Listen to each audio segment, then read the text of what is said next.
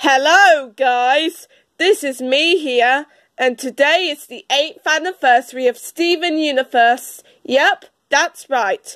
On this day in 2013, Steven Universe premiered on Cartoon Network, and it was a great show. So happy 8th anniversary, Steven Universe. This is what I'd like to say. This is me signing out.